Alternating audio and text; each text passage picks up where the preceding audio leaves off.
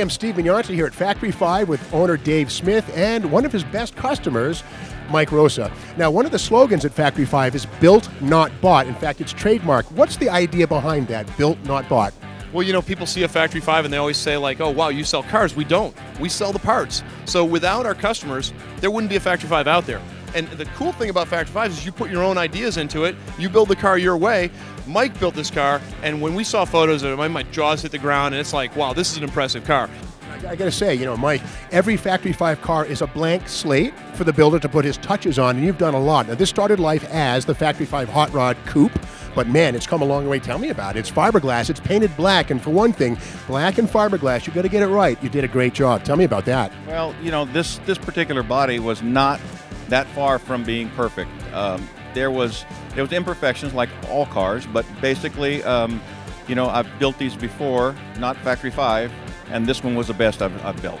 So um, uh, the black paint job is challenging at best. Yeah, we built the car uh, in about a three-year period. It's a small block Chevy, 350 transmission, Hilborn fuel injection, and uh, it's got a uh, gear vendor overdrive.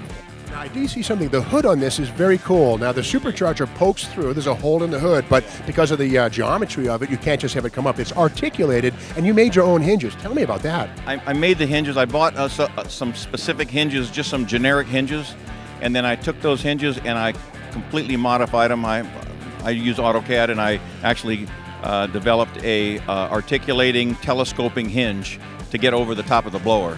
So that's that was my challenge, and that was probably the most difficult single piece that I did on the car. Any final thoughts on this? I think it's a great car. I mean, I'll tell you what, what I love about Factory 5 is we get credit for other people's workmanship. I mean, Mike built an amazing car here. Someone says, what is this, a Factory 5? It's not a Factory 5. It's a Mike Rosa and a Factory 5. We work together on it. We collaborate on it. And if you do a good enough job collaborating, you end up at SEMA here with our booth. How can our viewers learn more about Factory 5? It's all on our website, factory5.com, F-I-V-E, factory5.com. There you have it. The road to SEMA begins with potentially a Factory 5 kit. Get yours and find out yourself.